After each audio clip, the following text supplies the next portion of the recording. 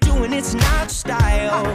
I'ma pick you up in a Cadillac like a gentleman, bring it glamour back, keep it real to real in the way I feel. I could walk you down the aisle,